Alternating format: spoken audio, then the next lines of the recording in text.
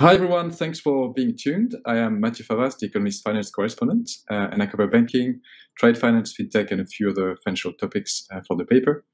It's my great pleasure today to have the chance to speak to uh, Barry O'Byrne of HSBC about the bank's plans to achieve net zero.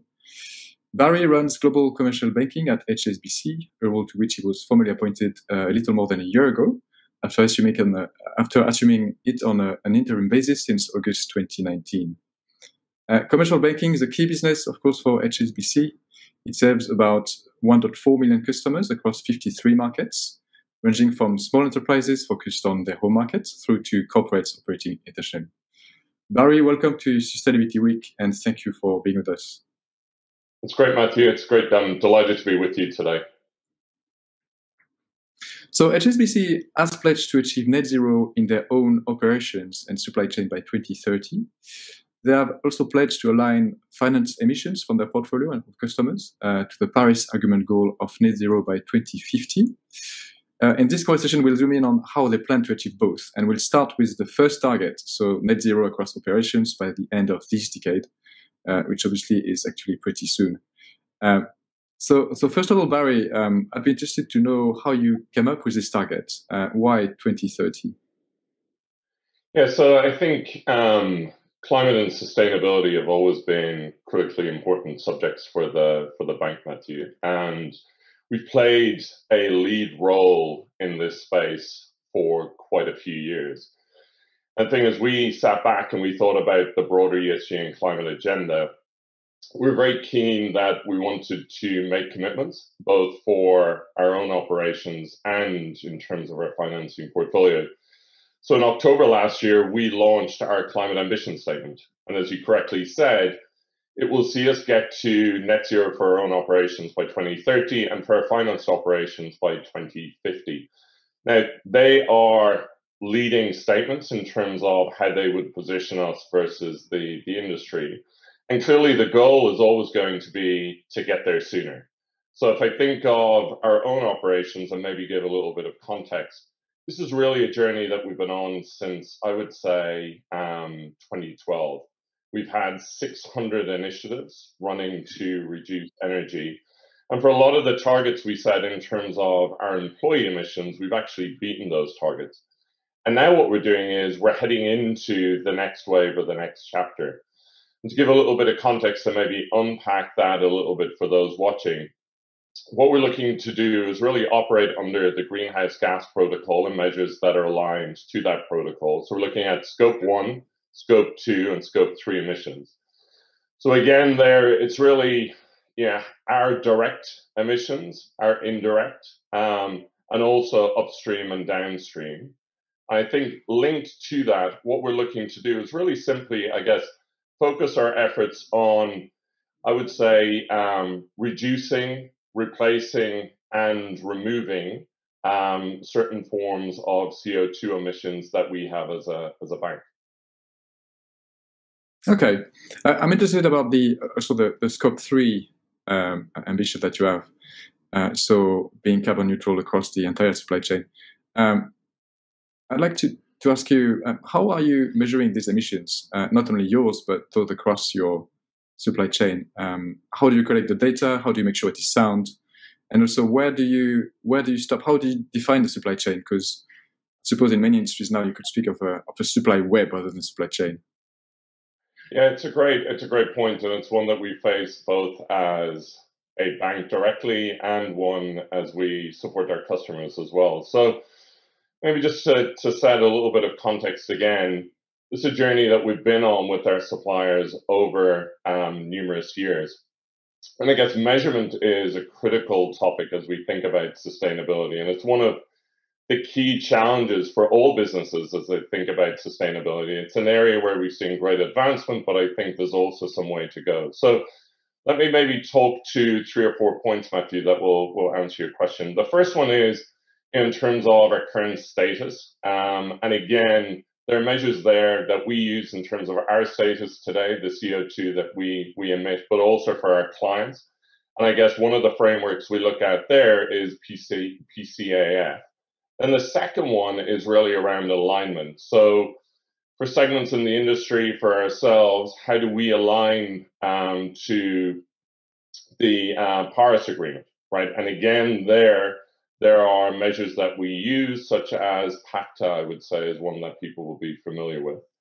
Then the third area is really on verification. And again, we have to hold ourselves to account, and our clients will be holding themselves to account as well. So, how do we verify and validate that we're making the progress that we want to make? So, again, here, it's very much to use, it's very much about using science-based metrics, and the one that I would refer to as SBTI and then engagement has a huge role to play as well as, I guess, a fourth axis. And for us, that's engaging with our employees. Um, it's engaging with our suppliers.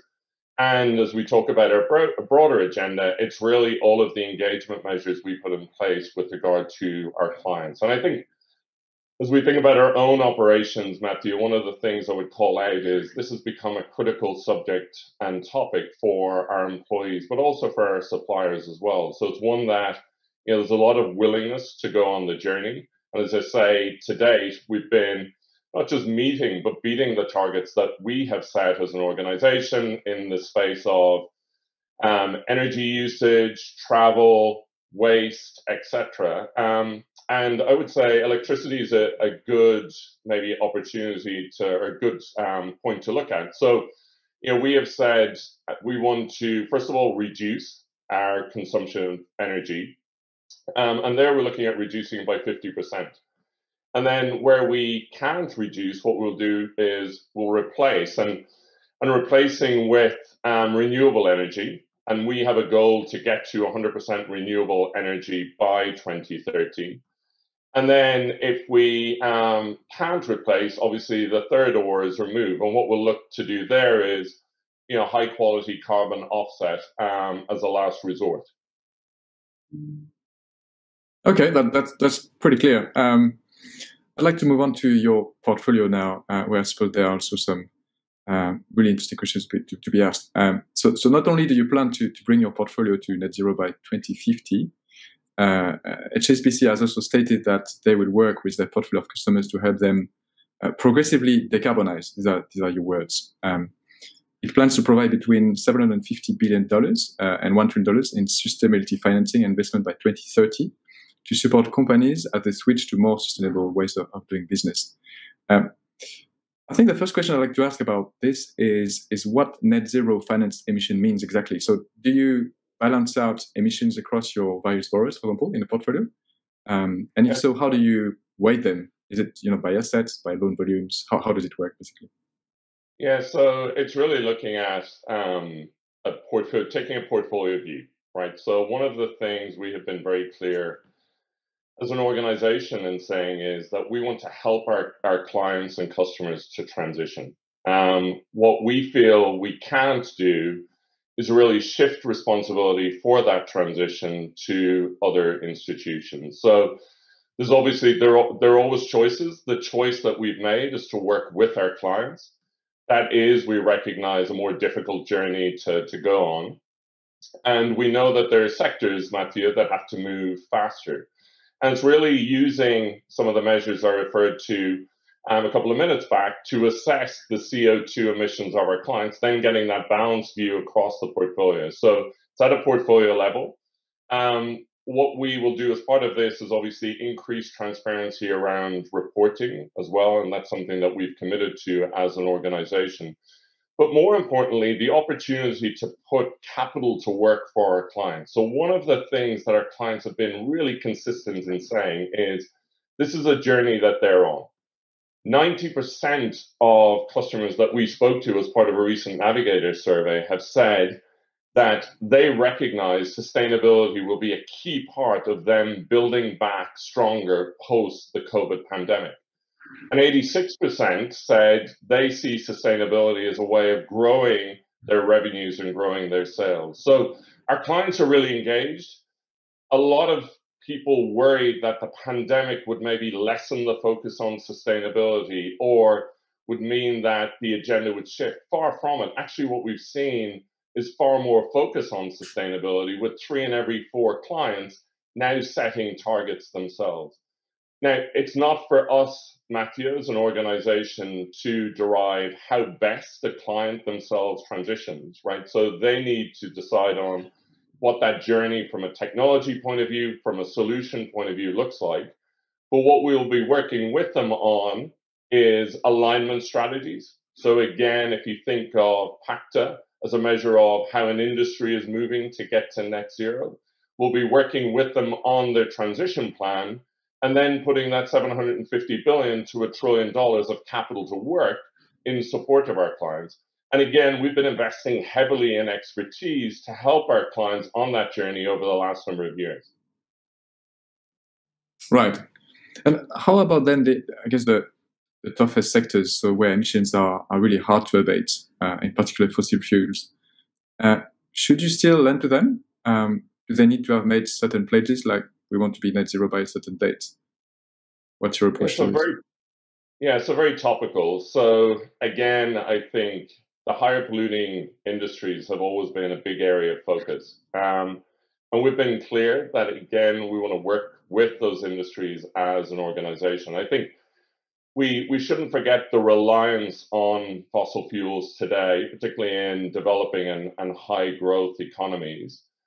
But what I would say is it's a topical question because we have a resolution that will be going in front of our AGM this year that will see us exit um, coal mining and coal fired power plants and the financing of both by 2030 in Europe and OECD and 2040. So, again, we've made a very bold statement in that regard.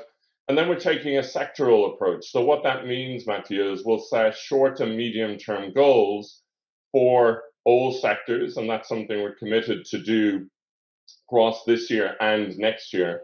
And we'll start with those industries that need to move faster. So I've mentioned coal, but also oil and gas, power and utilities, and setting sector specific targets uh, for those for those um, industries as well. And when those targets are reached, do, do you mean you're going to uh, to change the way you, you lend to those companies? Are there you know incentive structures in place uh, to the companies you lend?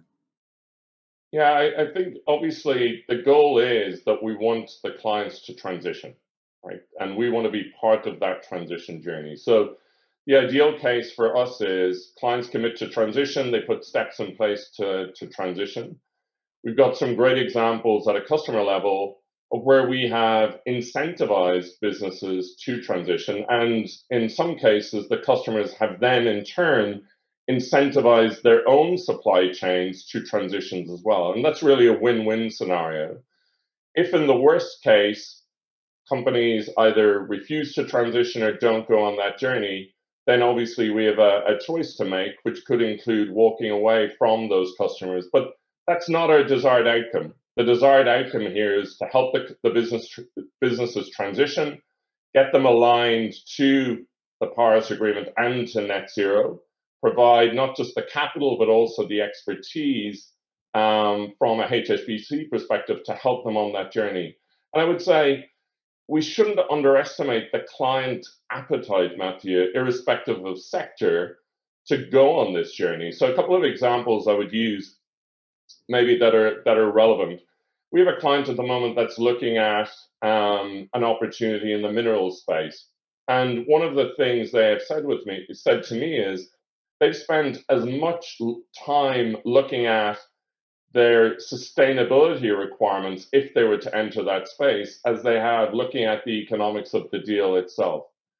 Also, I think if I think of 12 months ago, the client meetings I was having clearly suggested that sustainability was very much top of mind on the agenda for our clients. 12 months on, they're now talking about the steps they're taking to transition. And again, we've seen some great examples around the world, one in Canada where know, business was involved in the production of chemicals and CDs, and they've now shifted their technology to produce um, you know, solar capability. So there are more and more examples of businesses that are not just talking about sustainability, they're actually taking action. And I think that's really encouraging for all of us, just given the societal importance of sustainability and that much broader ESG agenda.